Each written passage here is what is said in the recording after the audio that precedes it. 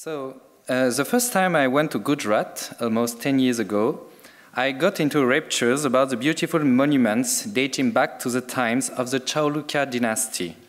The famous Sun Temple of Modhera, here, the Great Stepwell of Patan, or the Jain Temple of Taranga, made on me the greatest impression with their elegant proportions and their delicate sculptures. Since then, I have had many occasions to travel to other parts of India and to discover many other styles of civil or religious architecture from various periods, but the so-called Maru Gurjara style from the northwest has remained one of my favorites. Besides, the medieval texts from Gujarat and Rajasthan I had decided to specialize in are roughly contemporaneous with these monuments, and they could incidentally allude to their construction, embellishment, or decay. For instance, the allegorical drama I translated in my uh, doctoral thesis, The Moharaja Parajaya, or Defeat of King Delusion by Yashpala, alludes to several Jain temples that the famous Jain king Kumarapala had built in his capital city and other parts of his kingdom. In order to understand this text, I had to get acquainted with the technical aspects of Indian religious architecture, and that is how I came to read different studies written on the subject by renowned scholars such as Madhusudan Dhaky. For describing the complex structure of Indian temples, most of these scholars have made use of a wide range of technical works, words sorry, they have found in various kinds of texts from ancient and medieval India. Indeed, arch architectural matters have been specifically dealt with in a great amount of treatises on building or craft, the Vastu Shastra and the Shilpa Shastra. They can otherwise have been included among other topics in religious works such as the sectarian Agama or the encyclopedic Puranas. Since the words pertaining to the architectural technicalities are often missing in modern dictionary, specialists have generally appended a glossary to their studies on the Indian temple. These glossaries can be very convenient and helpful tools for describing a building or grasping the meaning of a difficult passage, but they present one major disadvantage in that they rely on sources which may postdate the monument or the text under consideration. Thus, in an article on the Western Indian Jain temple, Madhusudan Dhaky analyzed this particular type of building in 20 chief constituent parts that he named in conformity to medieval sources from Gujarat and Rajasthan. Yet, it must be noted that, excepting a fragmentary Vastu Shastra and another manual on architecture called the Vastu Vidya, all these texts were written after the end of the 12th century. Consequently, the terminology that Dhaky drew from them was probably in use from the 13th century onwards, and one can safely make use of it for analyzing Jain temples such as the famous ones built by Vastupala and Tejaspala at Girnar or Abu. But as regards earlier buildings, it may be anachronistic and for that reason must be handled with caution. For instance, the Jain temple of Taranga, uh, mentioned above, was built in the second part of the 12th century, that is before the composition of most manuals on Jain religious architecture from Western India. Actually, it is one of the rare surviving parts of an ambitious architectural project that King Kumarapala launched between his conversion to Jainism in 1160 and his death in 1173. According to his spiritual teacher and court poet, the monk Hemachandra, Kumarapala made the earth adorned with temples of Jina in almost every village. In the Kumarapala Pratibodha, or Enlightenment of Kumarapala, a Prakrit work achieved by the Jain poet Somaprabha in 1185, the king in person says, I quote, Now that I have understood the true nature of God, I will order the construction of Jain temples everywhere.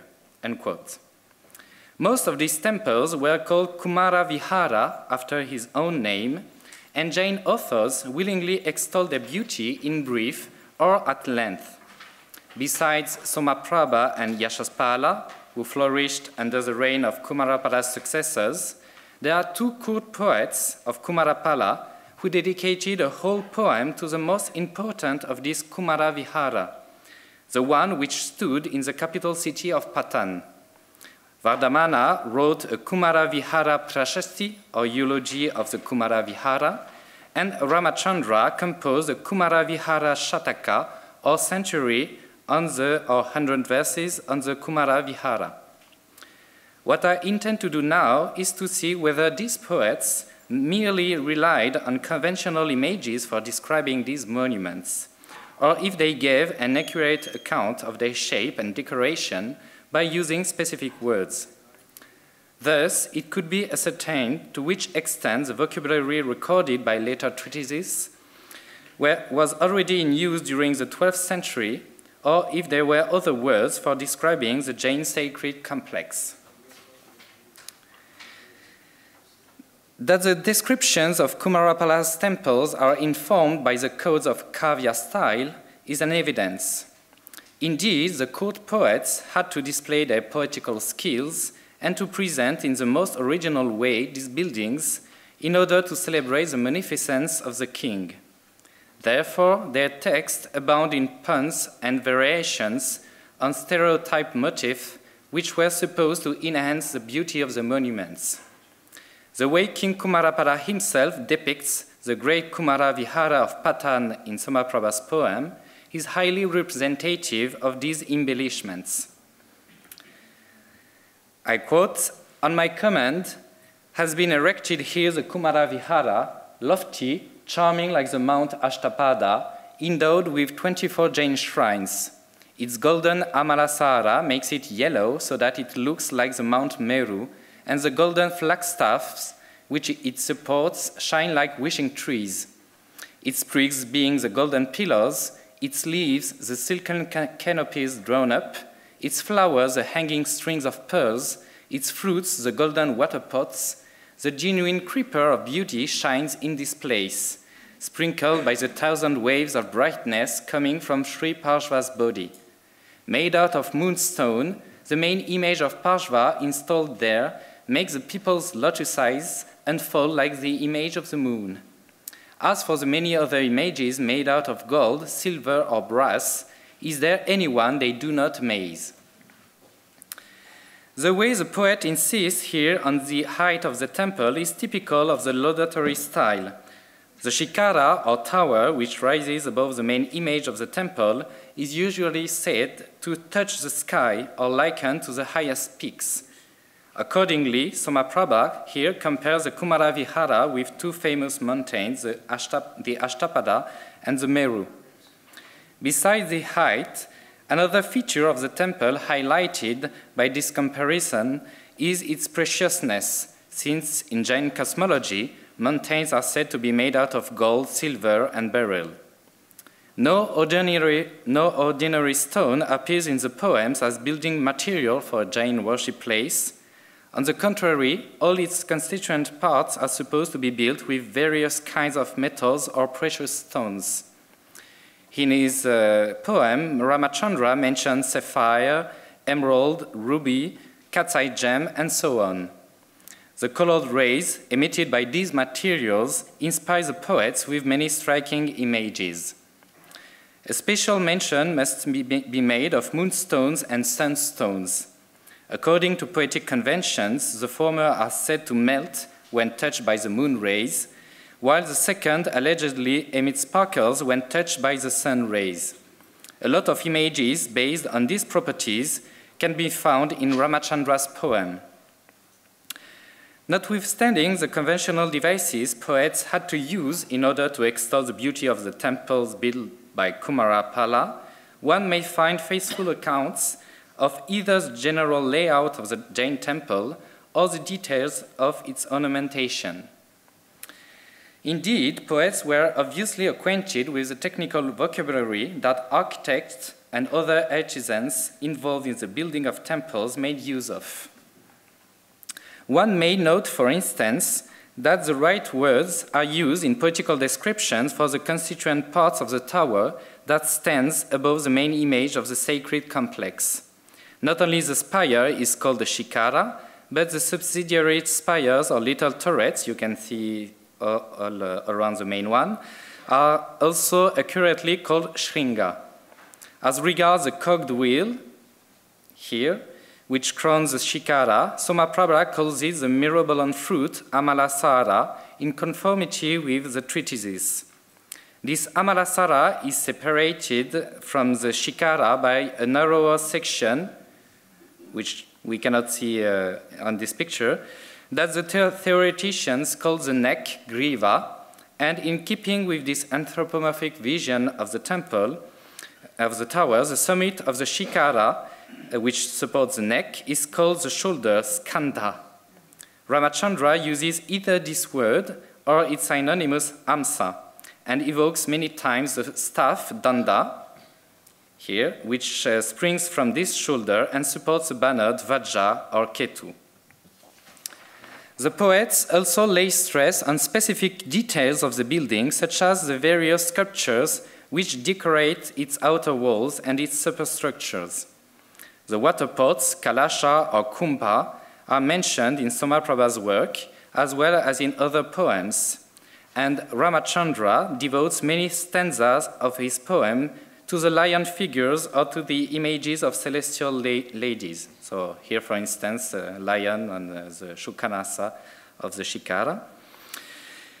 Uh, for, for instance, Phyllis Granoff has related one of these stanzas uh, by Ramachandra, which describes a young woman annoyed by a monkey, to sculptures preserved in extant monuments.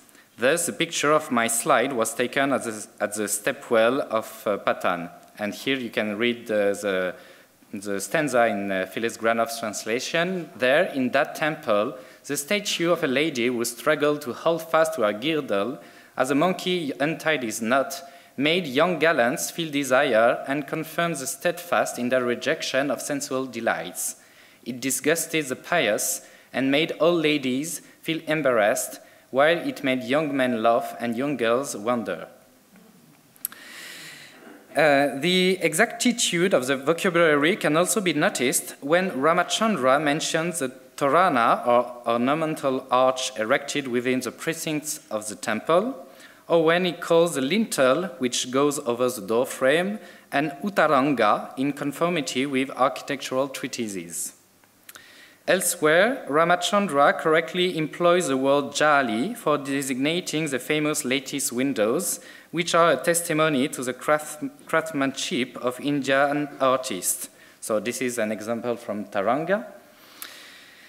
And another instance of Ramachandra's acquaintance with architectural science can be found when he explains that the perfumed water used by devotees for bathing the, the image of the Jina goes out of the temple, I quote, by the curved body of a makara whose mouth is a water channel made out of a of cat's eye.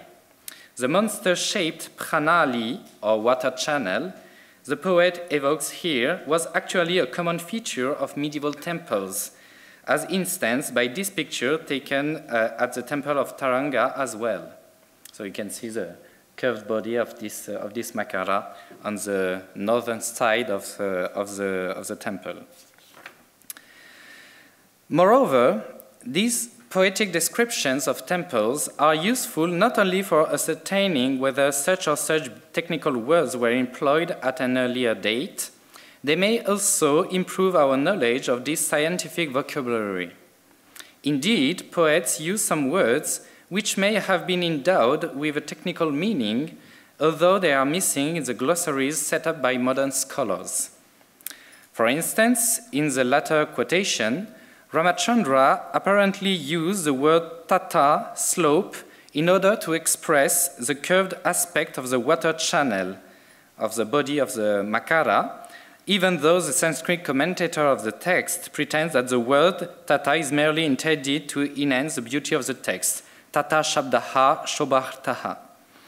That tata could function as a geometrical word referring to a curved figure is further proven by other stanzas of Ramachandra's poem, wherein its feminine counterpart Tati applies to the curved spire characteristic of the Nagara type of temple.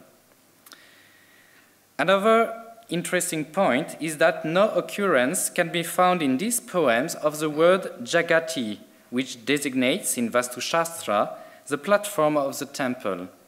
Instead, Ramachandra uses many times the word Vedi, which means altar in a Vedic context.